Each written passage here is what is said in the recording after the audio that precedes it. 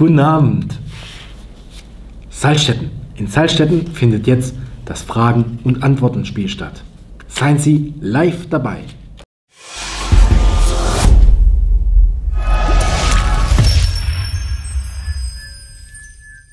Servus Performance for Friends. Nein, das ist kein Zauberstab.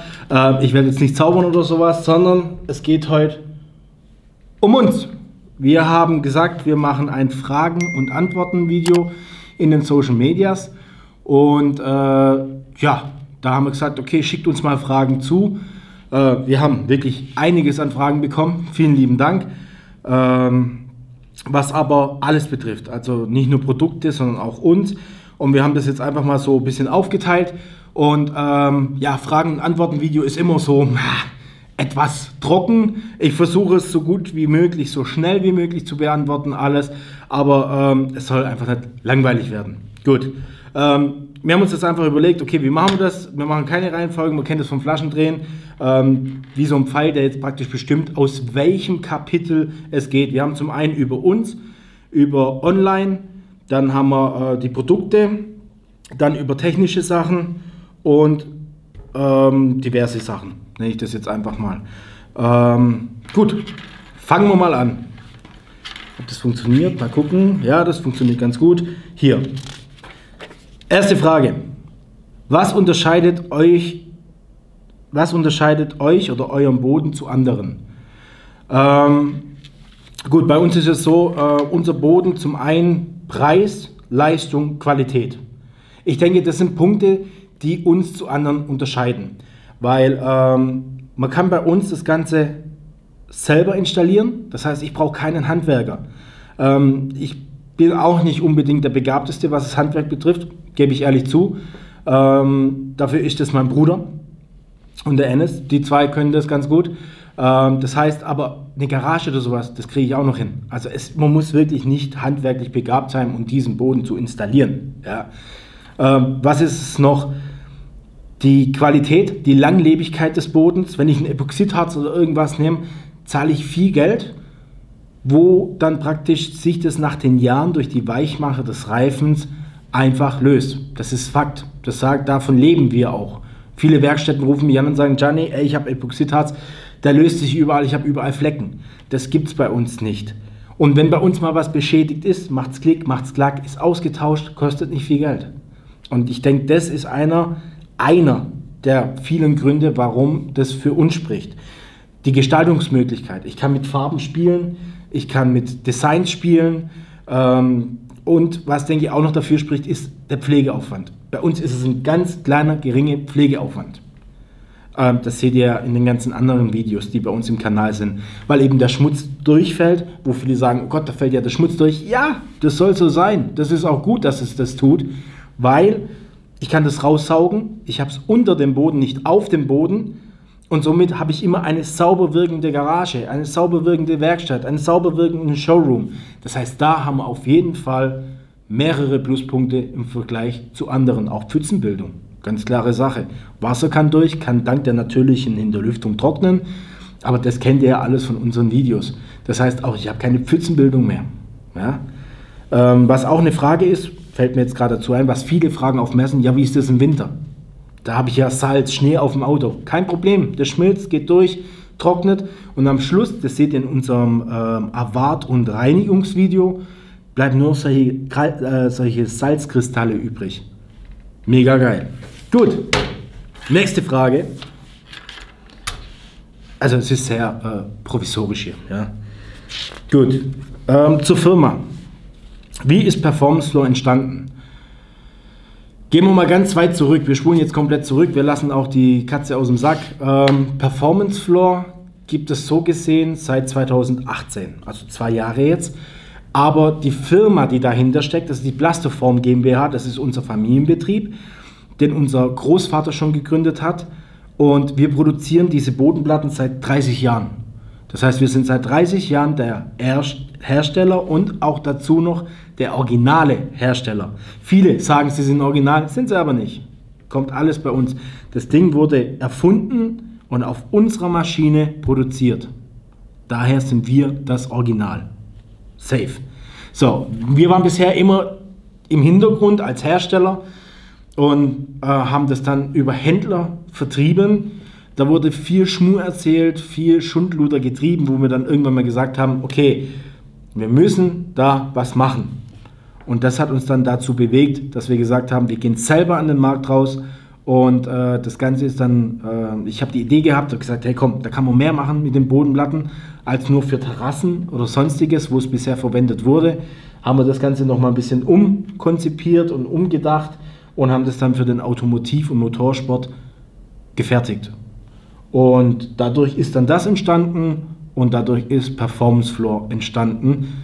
Ähm, habe dann noch mit meinem Bruder und mit Ennis geredet, die zwei ins Boot geholt, die auch bei Plastoform GmbH eingestellt sind. Und ähm, wir drei machen Performance Floor. Gut. So, nächstes. Das funktioniert ja wunderbar hier. Gut. Ein paar Sekunden später. Gut. Da haben wir eine Frage. Race, Race Flat, was ist der Unterschied? Das zeige ich euch, weil äh, Bilder sagen bekanntlich mehr als Worte. Das ist die Race Flat abgeflachte Stege. Hier haben wir die Race abgerundete Stege. Das ist der Unterschied zwischen den zwei. Die sind vom Design her genau gleich. Jetzt fragen sich viele, ja, wofür brauche ich die, wofür brauche ich die? Die Race Flat nehme ich zum Beispiel, wenn ich Aufbereiter bin, fällt mir jetzt spontan ein. Oder ich habe eine Hobbywerkstatt oder eine Werkstatt, wo ich knien muss. Die ganzen Jungs oder äh, Verlierer, die Rollhöcker haben, die müssen da drüber rollen können ohne Probleme. Die Idee kam vom Motorsport. Ich bin am Nürburgring gewesen und habe gesagt, ey Jungs, wie sieht's aus? Weil da liegt sehr viel von unserem Boden. Äh, wie sieht's aus? Und ich habe immer das gleiche gehört. Mega geil, Hammer, wirklich super drauf arbeiten und und und. Öl, wenn das durchläuft, kann man es durchlaufen lassen, kann weiterarbeiten und macht es danach raus, das ist gar kein Problem. Nur beim Knien tut das ein bisschen weh mit der Zeit. Also haben wir es abgeflacht. Das ist die Race Flat, so ist die entstanden. Das ist der Unterschied. Gut, nächstes. Ja, tu das hier hin. So. Wo produziert ihr? Äh, wir produzieren hier in Deutschland. Also wir sind hier selber der Hersteller von dem Ganzen und wir tun hier bei uns im süddeutschen Raum, äh, im schwäbische Ländle, tun wir produzieren. Gut. Technische Frage. Abschluss an Wänden und Zuschneiden. Wie? Äh, viele denken, wir haben ja diese Seitenteile, nennen die sich ja. Das sind diese Keile, wo man aufläuft oder auffährt. Äh, viele denken ja, dass ich die auch noch, wenn ich jetzt hier meine Wand habe, dass ich die dann noch hinmachen muss. Denkfehler. Machen wir nicht. Sondern an der Wand lassen wir das auslaufen. Ja, das heißt, wir lassen das dann komplett auslaufen bis zur Wand hin, 3 cm Dehnfuge mindestens. Auch da komme ich nachher nochmal drauf. Und ähm, das geht ja nie ganz auf. Das heißt, ich habe dann meistens einen Verschnitt, aber ich tue mit der Kante an die Wand fahren, mit einer Dehnfuge. Ganz wichtig. Ähm, das ist der Abschluss an den Wänden. Und zuschneiden, habe ich ja gerade angesprochen, kann ich das mit Stichsäge, Kreichsäge ohne Probleme, fahre ich einfach durch. Gut. Also, ich hoffe, das ist soweit, ihr seid noch am Ball, ihr bleibt noch dran, weil äh, da kommen wirklich noch sehr, sehr interessante Fragen. Ähm, wir machen mal weiter. Wieder persönliche Frage. Wie alt seid ihr? Ähm, Ennis ist 30, ich werde jetzt 30 und Sandro ist 27. Gut. Dann Run, One Race, One Race Flat. Wann Race, wann Race Flat, habe ich ja gerade schon erklärt. Ähm, wenn ich eben viel knien muss, wenn ich rollen muss, drauf nehme ich die Race Flat. Äh, wenn ich eine Garage habe oder sonstiges, brauche ich das nicht. Also dann nehme ich die Race dann oder in einem Showroom, da kann ich die Race nehmen. Gut. Ähm, hier geht es weiter. Tatsächlich eine Frage. Äh, ich habe schmunzeln müssen. Wie schwer bist du? Ja, ich würde mal sagen, ich bin schwer in Ordnung. Gut, nächste Frage. Warum Dehnfuge? Ich habe es ja gerade schon erklärt, dass man eine Dehnfuge lassen muss, dass das wichtig ist, weil beim Laminatboden kennt man das zum Beispiel, der dehnt sich ja bei Wärme aus. Das gleiche haben wir bei unserem Material auch. Äh, in der Herstellung wird es ja verflüssigt, wird dann eingespritzt in die Form. So, und dann ist es da drin eingeklemmt, so kann man sich vorstellen. So, sobald es jetzt warm wird, sagt das Material, oh, ich habe Platz, schön, ich kann mich bewegen. Und genau deswegen muss man eine Dehnfuge lassen. Wird der Boden warm, dehnt er sich aus. Kann der nicht nach rechts, kann der nicht nach links. Was passiert? Er geht nach oben. Und deswegen sagen wir immer, Leute, Dehnfuge 3 cm, mindestens 1% der Gesamtfläche, mindestens 3 cm. Das heißt, wenn ich jetzt eine Fläche habe von, schlag mich tot, 500 Quadratmeter, 1% brauche ich 5 cm. Da geht es mit den 3 nicht mehr. Gut. Gut, nächstes. So, was ist die Blastoform GmbH? Ja, ihr seht es bei uns im Impressum und überall, da steht Blastoform GmbH. Wie gesagt, das ist unser Familienbetrieb. Was wir noch machen, wir machen die Marke florco.de, setze ich unten rein. Das beschäftigt sich hauptsächlich mit dem Gartenbereich. Das heißt, es sind Echtstein, Echtholz und WPC Klickfliesen. Also wir haben das ähnliche System, bloß mit echtem Stein, echtem Holz. Könnt ihr auch mal reinschauen. Und wir sind noch ein Großhandel für Baustoffe, die auch an einer Produktion beteiligt ist für Dachdecker, Zimmerer, Gipser, Stuckateure. Das heißt, wir sind im Baubereich dann auch noch ein Großhandel für Baustoffe. So kann man sagen. Das macht die Plasteform GmbH. Unser Großvater, der hat das Ganze aufgebaut. Der ist jetzt, ähm, hat es überschrieben jetzt an meinen Vater und an meine, oder an unsere, unseren Vater und unsere Mutter. Das heißt, es ist unser Familienbetrieb. Gut. Nächstes. Persönlich. Wer macht was? Es ist eigentlich ganz einfach erklärt. Ich mache die Planung, stehe hier vor der Kamera, ähm, bin das Gesicht von Performance Floor, bin derjenige, der die Idee damals gehabt hat, hey, da kann man mehr draus machen, habe da auch viel lernen dürfen. Äh, Sandro ist der Handwerker bei uns, so von unserem Trio jetzt sage ich mal, ähm, der die ganzen Planungen alles macht, der die Baupläne liest, der die Planung macht, sich Gedanken macht, wie kann der Kunde das am einfachsten, am besten verlegen, ähm, der auch der Kreative bei uns ist, der eben äh, die ganzen Designs entwirft. Und Ennis ist bei uns absolutes Koordinationstalent, ähm, der dann praktisch auch die ganzen Abläufe überwacht, die Logistikabläufe, der eben auch unten im Versand mit seinem Team guckt, dass ihr die Ware sauber bekommt, dass ihr die richtig bekommt, dass der äh, die ganzen Messen alles bei uns plant und äh, koordiniert eben ganz mit den ganzen Speditionen, dass das alles wieder funktioniert und zurückkommt und die ganzen Geschichten, das macht alles der Ennis. Genau richtig. Und ähm, ja, ich gucke, dass ähm, das im Verkauf gut läuft ähm, ja, solche Sachen halt, die ganzen Eventplanungen und sowas, das mache ich noch. Genau. Einfach, dass ihr auch mal hinter die Kulissen äh, schauen könnt. Vorgehensweise Bestellung. Ähm, es gibt zwei Möglichkeiten bei uns. Möglichkeit 1 äh, war bisher immer dass alles per Mail reinkam. Ihr habt das ausgemessen, eure Garage, eure Halle, hattet vielleicht einen Grundriss, habt es uns zugeschickt. Sandra hat sich das angeguckt, hat die Planung reingemacht. Wir haben danach die Planung gezählt und haben euch ein Angebot gemacht. Nach dem Angebot kam dann die Bestellung. Ähm, wir arbeiten ausschließlich auf Vorauskasse, haben das am Anfang nicht gemacht, haben viel Lehrgeld bezahlt und deswegen haben wir gesagt, nein, wir machen in Zukunft nur noch Vorauskasse. Ähm, aber wer den Boden haben will, für den ist das ja kein Problem. Ähm, die jetzige Vorhergehensweise ist so, wir haben jetzt einen Floor Designer bei uns auf der Homepage. Da kann man ja dann seinen Boden selber kreieren. Das heißt, wenn man bei uns auf www.performance-floor.com geht, ist eine Rubrik Mach's dir selbst. Ich finde es so genial. Mach's dir selbst.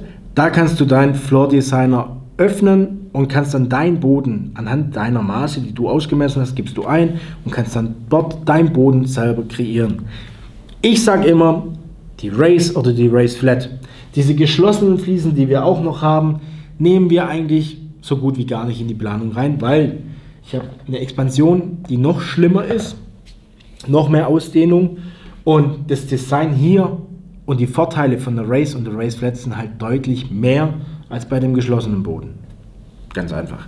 Ja, auf jeden Fall könnt ihr euch da dann alles zusammenstellen. Und dann haben wir jetzt eine neue Homepage und einen neuen Online-Shop, wo man das Ganze dann praktisch eingeben kann. Dann sehe ich, A, was kostet es und B, kann dann direkt bestellen, kann per PayPal bezahlen oder per Überweisung. Das heißt, ähm, da ist dann alles angegeben. Also, do it yourself. Planung, bezahlen, verlegen. Ganz einfach. Gut. Dieser Stift, ich merke schon, das ist nicht so die tolle Idee. Ich wähle jetzt einfach bewahrlos aus. Ja. Coole neue Homepage. Macht ihr das selbst? Äh, wir haben das in der Vergangenheit selber gemacht. Ähm, Sandro und ich äh, haben das jetzt aber komplett abgegeben, haben komplett neue Homepage gemacht. Ähm, wie gerade schon erwähnt, schaut auf jeden Fall mal rein. Ähm, die Homepage selber haben nicht wir gemacht, sondern Selected Web Design. Ähm, das ist der Julian und sein Team. Die Jungs haben mal richtig Vollgas gegeben, äh, professionell, ging schnell. Und äh, jetzt könnte eine sagen, ja, was interessiert mich das? Also, es gibt welche da draußen, die überlegen vielleicht auch eine Homepage zu machen. Äh, Selected Web Design. Ich tue den Link und das Video rein. Da auf jeden Fall mal vorbeischauen. Lohnt sich. Gut, die Felder werden immer kleiner. Gehen wir mal hier hin. Expansionsteil. Wann für was LED mit dabei? Oft gestellte Frage. Ähm, Expansionsteil. Sieht so aus. Ab 80 Quadratmeter empfehlen wir das. Ab 150 Quadratmeter ist es fast Pflicht, weil sonst müsste ich ja ähm, die 3 cm oder nehmen wir eine größere Fläche als Beispiel, äh, 500, 600, 700 Quadratmeter, wenn ich an die Industrie denke, müsste ich ja so viel Platz lassen, den Fuge lassen. Deswegen gibt es diese Expansionsteile, die tut die, die Bewegungsaufnahme steuern. Das heißt, äh, wenn ich dann irgendwann doch an den Moment komme, wo ich eben irgendwo hängen bleibe, dann tun diese Teile sich einschrumpfen und somit habe ich dann eben die Ausdehnung in der Kontrolle. Und wir haben hier ja, wie schon so oft erwähnt, diese Kabelkanäle noch mit reingemacht. Mittlerweile benutzen wir sie hauptsächlich nur noch als LED. Das heißt, hier kann ich die LEDs reinmachen. Ähm, das heißt, wann setze ich das ein? Wenn ich eine große Fläche habe, für was setze ich das ein? Zur Aufnahme von der Ausdehnung und LED mit dabei? Nein. Da sind keine LEDs mit dabei, weil wir gesagt haben, ey, wir haben das am Anfang gemacht, dann hatten wir Reklamation, weil das LED-Band nicht funktioniert hat. Ich wiederum konnte mit dem Händler mich rumstreiten, der wiederum konnte sich mit seinem Händler rumstreiten. Also habe ich gesagt, ey, es gibt so viele Angebotsmöglichkeiten auf eBay, auf Amazon, auf weiß was ich was, äh, wo man sich das selber besorgen kann. Genau. Gut, äh, machen wir einfach so im Kreis weiter. Hebebühne geht. Ähm, die Frage kommt öfters, ich kann eine Hebebühne drauf machen im Mobile. Das funktioniert. Ähm, kommt auch auf die Hebebühne an. Wir haben Hebebühnen, da rutscht das. Das heißt, da mache ich einfach eine Anti-Rutschmatte zwischen Boden und Hebebühne. Dann geht das ohne Probleme. Eine mobile kann ich auch drauf ziehen. Funktioniert alles ohne Probleme. Ähm, wenn ich höher bin als 1,50 habe ich gehört, muss es eh im Boden verankert werden. Da äh, ist unsere Empfehlung einfach immer bei mobilen ist kein Problem, aber wenn ich jetzt eine stationäre Säulenbühne habe, kann ich das außen rumschneiden. Also da ist kein Problem. Oder wenn ich einen Boden eingelassen habe, kann ich das auch außen rumschneiden. Ähm, ja, wenn ich eine Scherenhebebühne habe, die im Boden verankert ist, empfehlen wir es auch außen rum zu schneiden. Weil es macht keinen Sinn, da jetzt ein Loch durchbohren durch den Boden und durch allem. Schneidet es einfach zu, denkt an eure 3 cm Dehnfuge, dann passt das. Gut, da sind wir dran. Wie viele Mitarbeiter habt ihr? Ähm, kurz erklärt, Performance Floor sind wir zu fünft, ähm, die das Ganze machen. Äh, die Plastiform GmbH selber hat äh, zwischen 50 und 55 Mitarbeiter. Also 50 Mitarbeiter kann man sagen. Genau. Das heißt, wir haben da auch genügend Manpower, gerade im Versand oder so, wo wir drauf zurückgreifen können von Performance Floor. Ähm, habt ihr Familie? äh, hat jemand gefragt, ja, ähm, also ich bin verheiratet, habe drei Kinder, drei Jungs. Äh, Sandro ist auch verheiratet, hat ähm, ein Junge, zweite kommt, das heißt bald zwei.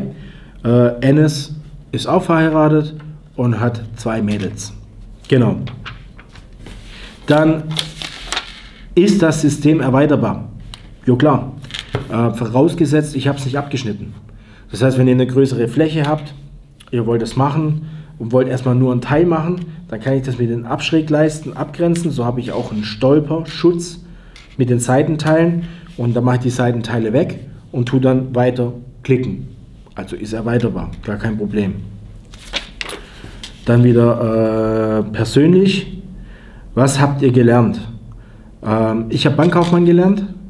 Ähm, das war damals äh, Voraussetzung von unserem Großvater, der gesagt was, ihr wollt in die Firma, dann müsst ihr eure Ausbildungen machen. Und dann haben wir gesagt, okay, durch das, dass wir eben Großhandel für Baustoffe sind, auch Dachdecker beliefern, hat dann mein Bruder Zimmermann gelernt. Das heißt das Technische. Und ich habe das äh, kaufmännisch abgedeckt mit einer Bankkaufmann-Ausbildung.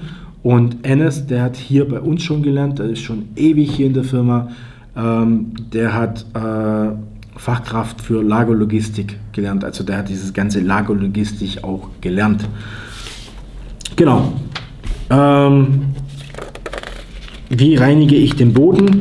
Dazu gibt es ähm, Moment. Ganz einfach erklärt.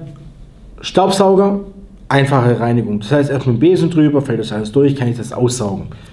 Brauche ich nicht oft machen, einmal im Monat, sage ich jetzt mal, einmal in zwei Monaten. Dann gibt es die Möglichkeit, das großflächig aufzumachen. Das heißt, da kann ich das rausklippen, sieht man in unserem Reinigung- und Abwart-Video äh, hier im YouTube-Kanal. Wunderbar, kann ich das großflächig aufmachen, kann das dann praktisch so rausmachen. Oder ähm, es besteht auch die Möglichkeit, das dann rauszuziehen. Mit dem Dampfstrahler kann ich da drüber, dann ist es wieder sauber. Ähm, bei uns in Instagram, in den Stories, seht ihr äh, da Sophia Kelly, die hat ja auch einen Boden von uns. Die Sophia hat da ähm, einfach mal jetzt vor zwei Wochen war das, äh, Stories gemacht, wie sie den Boden reinigt. Von sich selber fand ich mega cool. Ähm, und da sieht man das Step by Step.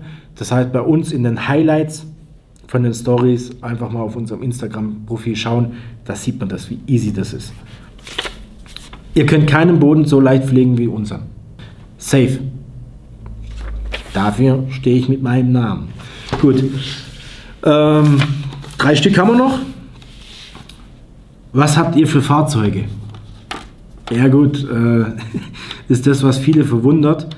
Ähm, Ennis hat eine C-Klasse ähm, im T-Modell. Ich fahre ja den Victor und Sandro hat einen Turan. Genau, also wir haben ganz normale Fahrzeuge. Ähm, ja, ich habe noch äh, zwei Motorräder, eine Harley Davidson und eine Buell. Ja, das war's. Äh, ist das System erweiterbar? Haben wir schon. Da ist doch nur noch eine Frage. Was gibt es Neues? Äh, lustig, dass die zum Schluss kommt. War wirklich nicht geplant. Ähm, ja, wie gesagt, wir haben eine Homepage. Ähm, dann gibt es noch Neues, dass wir jetzt die YouTube-Videos jeden Freitag ein Video machen wollen. Ähm, wir versuchen das gut möglichst einzuhalten. Ähm, aufgrund von Corona gibt es momentan nicht viel Neues, weil die ganzen Events ja abgesagt worden sind. Ähm, wir haben neue Modelle beziehungsweise neue Farben, äh, die jetzt nach und nach kommen werden. Einmal das Türkis, dann haben wir jetzt das Grün, das Limette-Grün. Da folgt jetzt noch Pink, Lila, Gold. Äh, ja, die kommen noch. Dann ähm, gibt es eigentlich so nichts mehr Neues. Wir werden, das nächste Video wird geplant sein, dass wir einen Härtetest machen für den Boden weil das auch öfters gefragt wird äh, für Werkstätten. Das heißt, da wollen wir einfach mal zeigen, wie viel hält unser Boden wirklich aus. Werden auch da ähm, nichts irgendwie betrügen oder vertricksen oder vertuschen, sondern das ist mal wirklich Butter bei der Fische. Ähm, wir sind mega froh, dass wir euch haben, dass ihr uns so supportet. Vielen lieben Dank dafür und Jetzt heißt es wie immer mit einem Klick zum perfekten Auftritt. Macht's gut.